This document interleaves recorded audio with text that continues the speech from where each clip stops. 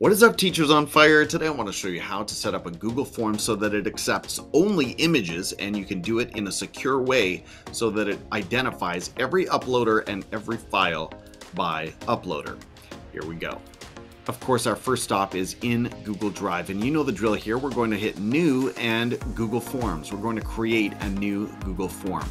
Now right away I like to set the title and so let's call this title Let's Celebrate our furry friends. Now notice something cool is as soon as I click on the file name, and we always want to give our files a file name, right kids?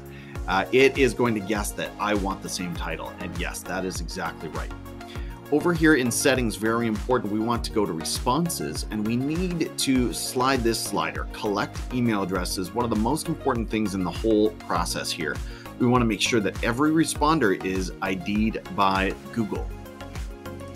This one is not necessary, but I like to set it to always just to give kids a, a receipt of whatever they did submit. And I sort of do that by habit, no matter what kind of Google form I am using. And then down here, this is important to me as well because let's face it, some kids, some middle schoolers will get a little excited here with the process and the opportunity to share photos with you and they will start spamming and doing all kinds of crazy things. So we're going to limit them to one response. They've got to choose carefully. You might even include that warning in the Google form information. Let's go back to the questions now in the all important part. You could ask for first name, so we'll put your first name.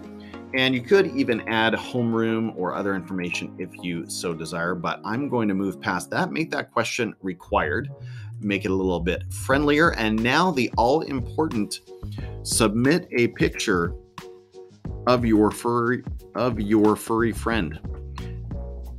Now, you may be familiar with Google Forms, but only in in terms of text responses, multiple choice, uh, other kinds of responses. Today, I'm going to show you right here. You can select File, Upload, and we're going to select a couple more options to even fine tune this just a little bit more. Allow only specific file types. Now we're going to select image. We don't want an animation, a video, a PDF, nothing else just a JPG or PNG. That's very important. And because some kids may have some furry friend, more than one furry friend at home, we're going to allow them to upload up to five. Up to five, okay? More than five, you've got a menagerie, you're Dr. Dolittle. It's too many. It's too many. Now, maximum file size, it's really unlikely that they've got an image that is larger than 10 megabytes. If you wanted to, you can increase that to 100 megabytes, but again, very, very unlikely that is it. Now, if you are ready to share your Google form, I'm sure you've done this before. It works best in Google Classroom if you just select the Google form from inside Classroom, and I can show that to you in a moment.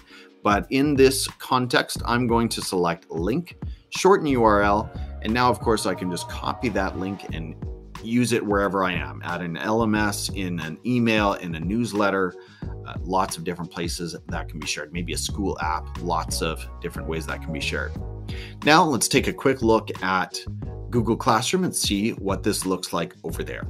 All right, now I'm in my Teachers on Fire Google Classroom and I want to give my students an assignment to upload an image of a furry friend. So how do I do that? I'm going to go to classwork and I'm going to create an assignment and I'll use the same title. Yes, thank you, Google Classroom. Now here's the key that I wanted to show you. Add Google Drive file. We're not going to add the link here. We're going to add the form from our Google Drive. And that is more important, frankly, when you're dealing with a quiz, because if you select the quiz this way, it will actually automatically import the results from the quiz. That doesn't really apply when it comes to this kind of a Google form, but it's just helpful to be in this habit of inserting a Google form by selecting within the Google Drive.